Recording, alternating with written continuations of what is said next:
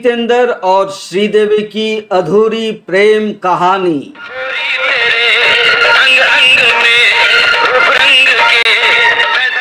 जितेंद्र और श्रीदेवी की जोड़ी सबसे लाजवाब है सबसे सुपर हिट है मगर ये दोनों एक दूसरे से प्यार भी करते थे।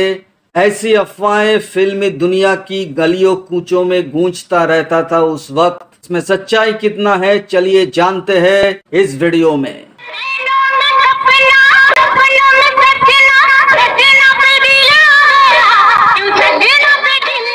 जितेंद्र और श्रीदेवी की पहली मुलाकात हुई थी मद्रास में। ये साल था 1980 का, जब जितेंद्र गए थे मद्रास। श्रीदेवी की एक तमिल फ़िल्म जिसने 100 डेज़ कंप्लीट किया था और जितेंद्र उस फ़ंक्शन में चीफ गेस्ट थे। तो जितेंद्र श्रीदेवी की पहली मुलाकात उसी फ़ंक्शन में हुई थी।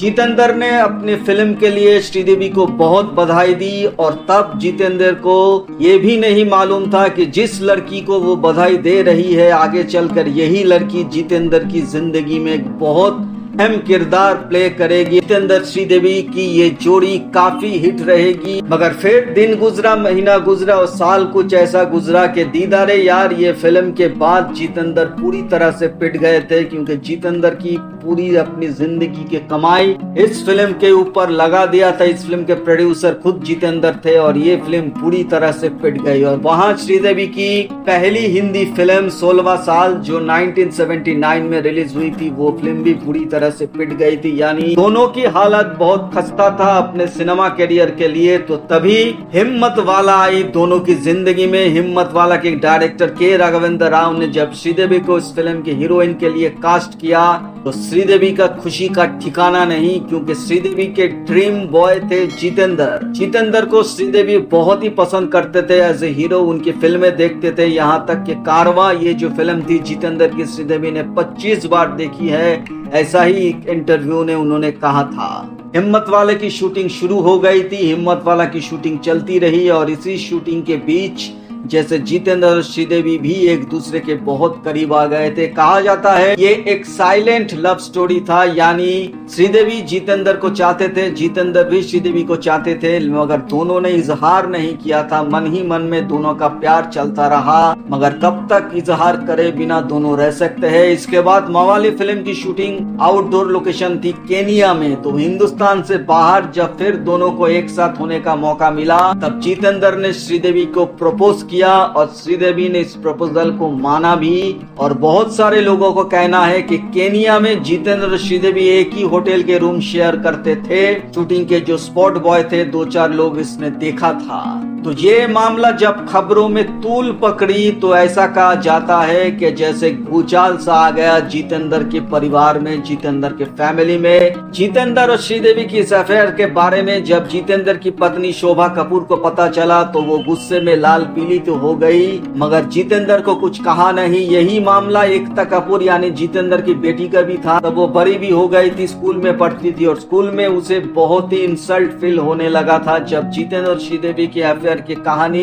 मैगजीन के गॉसिपों में छपकर आता है और एकता कपूर के फ्रेंड्स एकता कपूर को कहती है कि तुम्हारे पापा के साथ तो श्रीदेवी का अफेयर चल रहा है। तो कब दे रहा है तुम्हारे पापा? तुम्हारे मम्मी को डिवोर्स कब श्रीदेवी से शादी कर रहा है? तो इस तरह की कई सारे इंसल्टिंग बातें एकता कपूर को सुननी पड़ती थी। तो ज़ाहिर है दोनों का गुस्सा पारा बहुत चला रहता था। तब जितेंद्र बम्बई में नहीं रहते थी, मद्रास में ही पड़े रहते थे, क्योंकि उनकी हर एक फ़िल्म की शूटिंग साउथ में ही होती थी। तो जितेंद्र महीने में दो तीन बार ही वो घर आते थे, यानी बम्बई आते थे और बाकी दिन मद्रास रहते थे। और कहा सकते हैं, बाकी दिन वो श्रीदेवी के साथ ही रहते थे, क्योंकि पूरी जो फ़िल्मों का लिस्ट है, जितेंद्र की सिर्फ़ और सिर्फ़ श्रीदेवी से भरी पड़ी रहती थी, यानी हर रोज श्रीदेवी से मिलना होता था जितेंद्र का। इसी बीच शोभा कपूर ने एक स्ट्रेटेजी अपनाई, उन्होंने श्रीदेवी को अपने घर में एक दिन डिनर पे बुलवाया और इस डिनर इन्विटेशन को लेकर श्रीदेवी बहुत ही एक्साइट थे, क्योंकि पहली बार वो जितेंद्र जितेंद्र के घर जा रहे थे, जितेंद्र की पत्नी, बेटी से वो मिल रहे थे। जितेंद्र भी बहुत खुश है, वो भी चाहती थी कि श्रीदेवी के साथ उनकी पत्नी का दोस्ती हो जाए तो मामला बहुत आसान हो जाएगा। मिलना जुलना चलता रहेगा, कोई प्रॉब्लम नहीं होगा। श्रीदेवी को सात बजे बुला गया था और श्रीदेवी उस दिन बम्बई आई थी शूटिंग के लिए और शूटिंग के बाद श्रीदेवी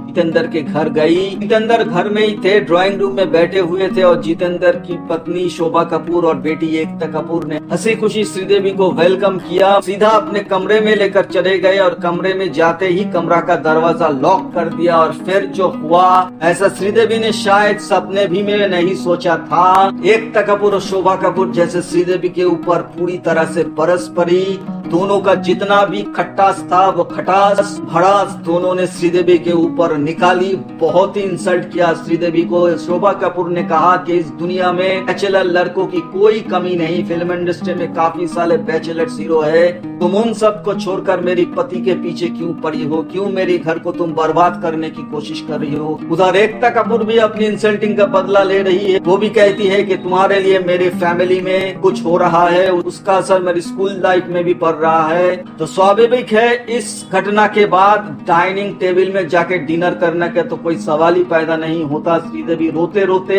अपने गम, अपने आँसू और अपने गुस्से को पी गई और वहाँ से निकल कर सीधा बाहर चले आई और गाड़ी में बैठ कर चले गए। जितेंद्र की पल भर में के आँखों के सामने ऐसा कुछ हो गया था, जितेंद्र को पता भी नहीं चला। कि उसके ही पीठ पीछे उसके घर में श्रीदेवी का इतना बड़ा इंसल्ट इतना बड़ा अपमान हो गया। जितेंद्र ने जब शोभा कपूर से पूछा कि क्या हुआ तो शोभा कपूर फिर से जितेंद्र के ऊपर बरस पड़ी और जितेंद्र को एक अल्टीमेटम दिया, हमें सब कुछ मालूम है कि श्रीदेवी के साथ तुम्हारा क्या चक्कर है अभी अभी सुधर जाओ।